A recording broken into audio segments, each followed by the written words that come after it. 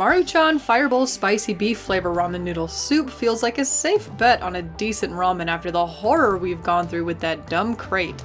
There's not much to it. It's Maruchan. It's a bowl of noodles. Though, with a name like Fire Bowl, I'm really expecting a lot from the spicy side of the beef. Cooking is about the same as anything else except you add the seasoning packet last. There's one pack of vegetables and it smells unbelievably like a barbecue, or maybe a grilled kebab.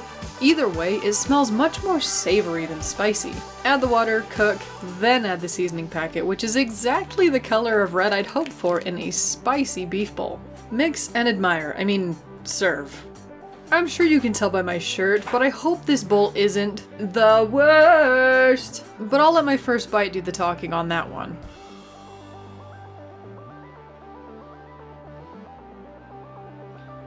It's kind of a weird mix of spicy barbecue onion noodles.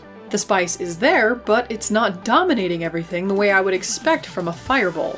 I don't know if that's a good thing or a bad thing. The second bite might tell me. Okay, I guess it's kind of a bad thing because it feels a little bit like false advertising. Then again, I think my tolerance for spice goes a little above mayonnaise and salt, so my opinion is probably a little skewed.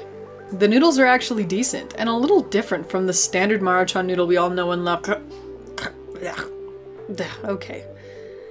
That was an onion peel, not an actual onion, and it was gross.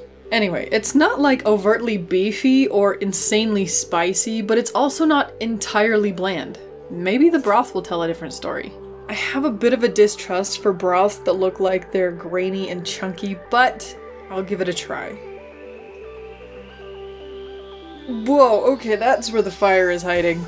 Wow, it hit you right in the back of the throat.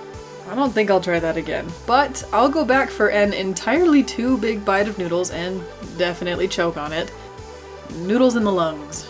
Do not recommend. Even still, it's decent enough that I finished the noodles. I am still trying to recover from choking though. Until the next time I eat a new variant of a classic noodle, stay sweet.